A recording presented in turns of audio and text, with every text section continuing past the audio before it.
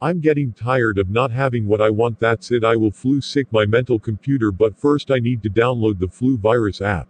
Installing 4.0 flu virus on your mental computer. Yes now let's open the program on this human computer.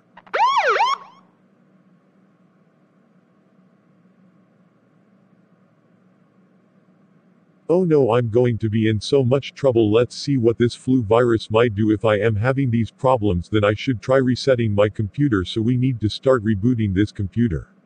Caillou did you install a flu virus on my computer? As a matter of fact yes I did.